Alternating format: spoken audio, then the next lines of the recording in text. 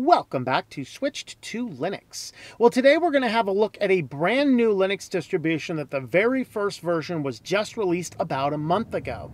And we're going to have a look at what this distribution is, how it works, how it functions, and things like that. We're going to shift up the format in this video a little bit more. I had taken some extensive notes on this distribution, so I feel like we're going into it with a lot of the other things in mind. So let me know if you like this newer format, and uh, we'll keep doing these down the road.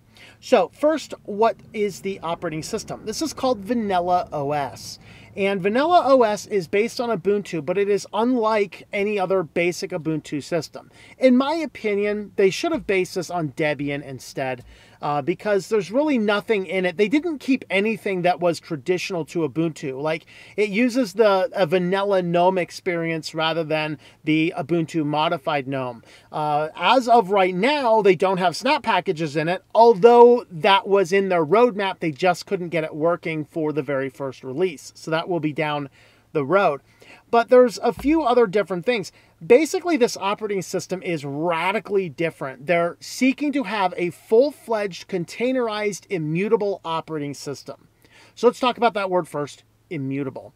The immutable operating system in this instance, what we're looking at is an operating system that does not have any small point changes throughout the time. Now, the theologian geeks like myself, we see the word immutable as completely unchangeable. So when I see an immutable Linux distribution, I'm like, oh, can, how can you change the system? Well, that's not specifically what it means. What it means is that the system is not designed to be changed by single point updates. It's designed to all be completely containerized so that every element of the system works independently from every other element of the system. There are a few different ways to do this. We talked about NixOS a couple weeks ago, where in NixOS, that is a true immutable system. It's very difficult to change several things throughout it. And um, as we look at that particular um, distribution, even changing the hosts file was completely different. We don't have that situation here in Vanilla OS. But what we do have in Vanilla OS is a way to manage the systems in a similar way as uh, you have inside of Chrome OS um, or the new Android systems. Basically, we have two parallel systems. And then when you're making updates or any changes, it's going to be deployed across one of them, leaving the old one completely intact. So if there's a problem and error, it will revert back to the old version so you do not have a problem. Now, this raises a lot of concerns. It's not the best model for security, in my opinion, because, yeah, as long as the malware doesn't fail to install, it's going to be ported across both your systems. This is not a high security methodology as much as a system makes sure your whole system doesn't come crashing down because of a faulty dependency that gets deployed across the system. That's really what our purpose is. Now, they were trying to use almost, and they almost got it working. They switched and used ABRoot instead. So as you look at the file system of this particular um, uh, Linux distribution, and we'll go ahead and pull this up on the uh, on the disks uh, module over here, uh, if we look at how the partition sequences work, you can see we have uh, uh, partition 1, partition 2, 3, 4, and then look at the notes up here. File system partition 1, file system partition 2. We have uh, B, we have A, and then we have file system, and then there's a couple free spaces. Uh, you know, grand total of 4 megabytes of this disk is not being used. Now, this raises the very first issue that I have about this. This requires a massive amount of hard drive space. I am using the minimum amount, which is 50 gigabytes, and my home folder is already out of space. And I haven't done anything on the system yet other than install a few small packages because I just want to test how did their system work because as we'll get into in a bit, the way they are installing software is quite a bit different. But what we see going back to this disk partition, we see this A and we see this B. Each of these are 20 gigabytes. These are your file system partitions. And as we look at these, we see that A right now is not mounted and B right now is mounted as the file system. Well, if I make any system changes, what's going to happen is A is going to be the partition that is mounted on the next system, and then B is going to become a clone of system A once it successfully boots. And so we have our partition here, uh, the file system partitions. You'll see that one is mounted at boot EFI and the other is just mounted at boot. And uh, this will determine which one of your two partitions becomes your core system. Now, all of your software and everything else is on your last partition, which is mounted at home. So this is what makes everything's all containerized. Now, they do use by default on the installation, you actually have the ability to choose Flatpaks, app images, or snaps. With the parenthetical, snap is not working right now. So as you're testing this out right this moment in time, snap is not in that option. But when you're setting up the system, you have the ability to turn on or turn off Flatpaks or app images.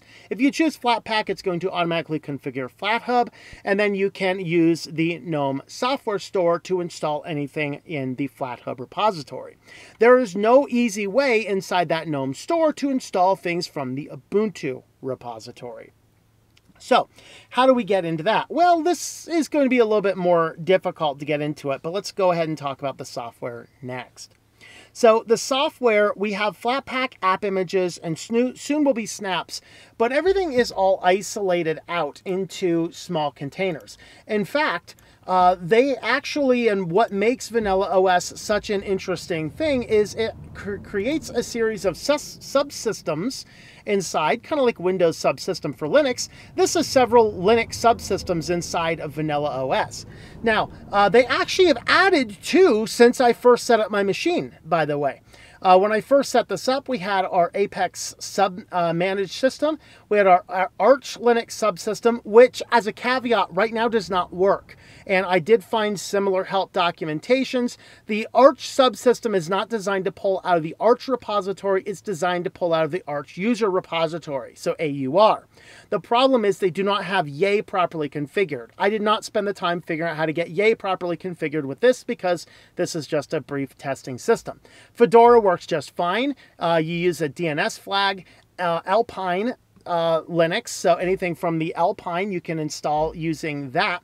But then as I booted this up today to actually record this video, now we actually have two new ones, OpenSUSE and Void Linux. So what their idea here behind Vanilla is they are adding in all these so that if the Void OS or OpenSUSE has uh, individual packages and you want the versions from those instead of maybe the versions out of Ubuntu, you can use these and then it installs the packages containerized for your system. And you can see I have installed applications. I have FileZilla, which is uh, Apex managed, so that's just your basic Ubuntu. Bluefish came from Apex, and you'll see that I installed BibleTime based on the Fedora subsystem. So uh, when I go ahead and click that, you'll see that it will boot up. Of course, I didn't actually configure anything, but you know, it boots up first boot. And if I pull up my uh, system keys here, it is here, although it didn't give me the icon. Uh, maybe that's a bug and whatever else. You'll see FileZilla works, Bluefish Editor works. I did have actually a few issues with FileZilla initially where it was not able to um, read the cache file. Um, I get resolved that just by deleting the old cache files and let itself re rebuild itself. But the idea here is that you can use a variety of different applications from a variety of different Linux distributions, and then you can pull up the software and whether it comes out of the, the um, repositories for the Linux distros or the app images or the Flatpaks, it's all going to work inside of the same system. So this is that immutable containerized system. Each application in, behaves completely independent, and each time you're installing a new application to the subsystem, it creates a container for that specific application.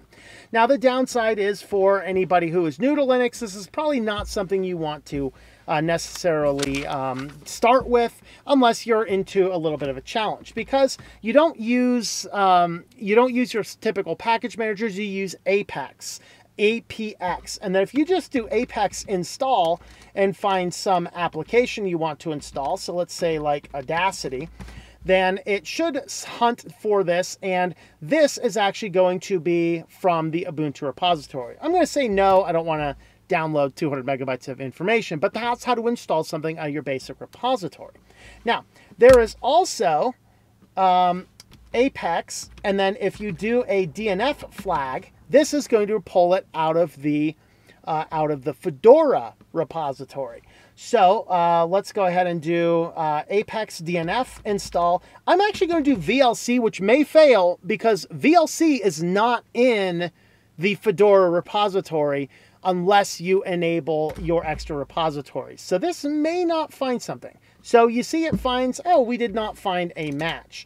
Uh, let's see if Audacity is in that one. That one I don't know. Of course, I do need to spell Audacity correct, so let's go ahead and spell it correctly this time. And let's see if it finds it. So there you have it. We do actually have, uh, we could download uh, 46 megabytes, and uh, it's going to download just a lot of uh, small software packages. Uh, we're not going to go ahead and install it right now, just, just so you can see how you install it. And then, of course, uh, there is the APK, gets you your Alpine, and the OpenSUSE and the Void Linux just showed up today. I'm sure they'll tell us soon what flag you need to use to get to those. Uh, who knows? Maybe flag flag void or zypper. I don't know. Uh, but anyway, that is actually how you're installing software, and then it's going to uh, go ahead and install your software based on that. Now, I did actually, before that worked, I had to come in here and I had to click on each of these buttons over here in order to get those set up the first time. I'm not sure if that was just, I wasn't sure exactly what I was doing, but I did notice when I first got in there, booted up the command line, typed in the APX, it's like, I don't know, no idea what you're talking about. and so once I click the buttons over here to create the containers, now they're into the system. And so that is going to work. Now the updates, since we're in here, we do have the ability to check for updates and then we have smart updates will only update if the system is not under high load and does not have a low battery. And then there's auto update uh, will have updates will automatically um, update themselves in the background. And that's probably why I ended up with those new subsystems that I haven't seen before. Let's go ahead and pull up the software store here. This is telling me we have updates. I'm thinking this is software updates, not core updates. But if I go ahead and look into these, every single thing inside of this repository is going to be from FlatHub. So there's nothing in here from the basic repositories. So you're going to be installing your non-Flatpak software through the terminal at this point in time, which is fine, but it creates the containers for each one of them. All right, so um, talking about the installer, um, of course, maybe I should have talked about that earlier, but um, uh, I'm walking through a checklist here. So the installer is a custom installer. When you set it up, you choose the software packages you want based upon the software repositories you selected. So by default, it's going to install just the basic GNOME applications and a vanilla GNOME. And then you have the option to choose Flatpak, app image, and in the future, you'll have the ability to choose snap packages. Your next screen is going to take you to the software you'd like to install, and then you can choose a variety of software so that on your first load, it's going to do that, and then it's going to add all of the extra things that uh, you might want. So other than, uh, other than those, this is certainly uh, minimal. Let's get into my basic considerations. Um, and we've already touched on a few of these, but just so you understand, the first massive, massive disk space needed. Their minimum is 50 megabytes, and they need to change that. They should say 75 because at 50, uh, 50 gigabytes, I have a 20 gigabyte system A, a 20 gigabyte system B, I have an 8 gigabyte home directory, and since all of the applications are containerized, that home directory fills up completely really fast. And without even installing more than just a few packages, I was getting constant memory low warnings inside of my uh, my GNOME shell notifications. I went in there and removed a bunch of GNOME applications, is what I did, so that you didn't get those popping up on this. But it does require massive disk spaces. Um, that minimum amount of 50 is not enough. Now, this might have been a concern maybe a, a, couple years ago as hard drives got really big, but people switched to SSDs and SSDs were small and more expensive.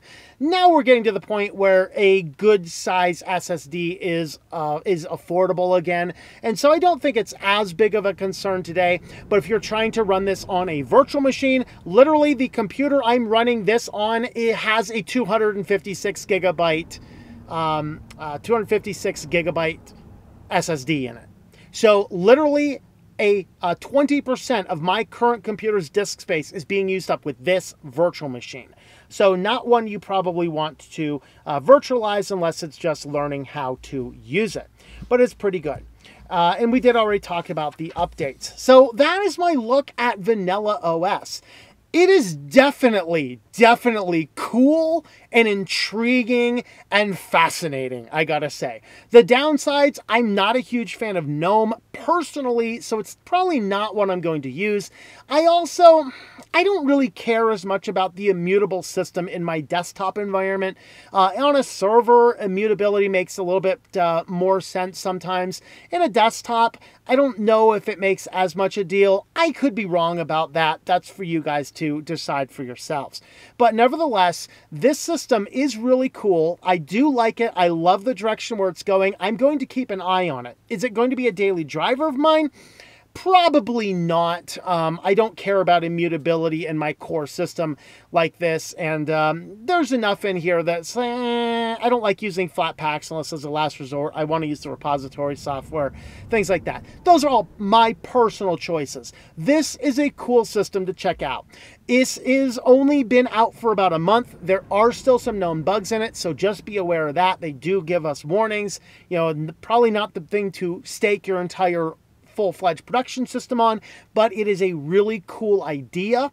I love the way they're doing it. I love what they're doing. I love they're adding new con uh, containers, and I love how uh, how um, motivated they are to get us something different, unique, into the desktop world because this is a fascinating distro. You should check it out, uh, particularly if you got VMs and you like looking at new things because this is completely different from a lot of the boring distros we've seen in the past.